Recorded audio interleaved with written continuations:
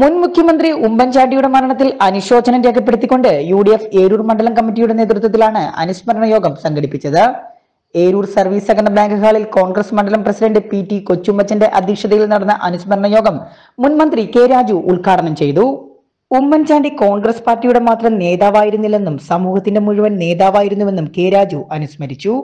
ഒരു വ്യക്തിയെ മരണത്തിന് ശേഷവും ആദരിക്കുകയും ബഹുമാനിക്കുകയും ഒക്കെ ചെയ്യുന്നു എന്ന് പറഞ്ഞാൽ അതിന്റെ അർത്ഥം വേറൊന്നുമല്ല.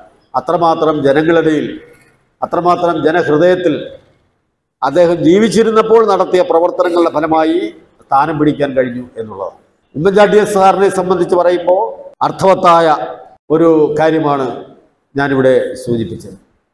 അദ്ദേഹത്തോടൊപ്പം പതിനഞ്ച് വർഷക്കാലം അതായത് മൂന്ന് ടേം അഞ്ച് വർഷം വീതമുള്ള മൂന്ന് ടേം അദ്ദേഹത്തോടൊപ്പം നിയമസഭാ സാമാജികനായി പ്രവർത്തിക്കാൻ കഴിഞ്ഞു എനിക്ക് തീർച്ചയായും അത് ഒരു വലിയ അവസരമായിരുന്നു എന്നാണ് ഞാൻ കരുതുന്നത്.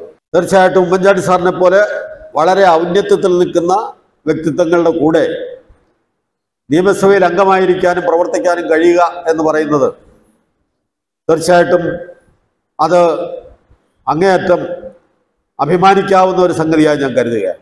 ഉമ്മൻചാണ്ടി സാറ് പ്രതിപക്ഷ നേതാവായിരുന്ന സമയത്തും പ്രതിപക്ഷ നേതാവല്ല പക്ഷേ പാർട്ടിയുടെ യു ഡി എഫിന്റെ നേതാവ് എന്നുള്ള നിലയിലും ഉമ്മൻചാണ്ടി സാറ് മന്ത്രിസഭയുടെ നേതാവ് എന്നുള്ള നിലയിൽ നിയമസഭയുടെ നേതാവ്.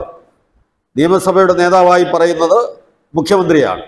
മതമേലധ്യക്ഷന്മാരായ Eroor Rajan Swami father K Prakash Shihabuddin Madani U D F നിയോജക മണ്ഡലം ചെയർമാൻ കൊളുത്തുപുഴ സലീം വിവിധ രാഷ്ട്രീയ പാർട്ടി നേതാക്കളായ ജി അജിത് ഷിബു രാജീവ് ഡെനിമോൻ ദുനൂബ് കുട്ടി റോയുമൻ വി ബിജു എന്നിവർ പ്രസംഗിച്ചു. നാട്ടുവാർത്ത ഏരൂർ.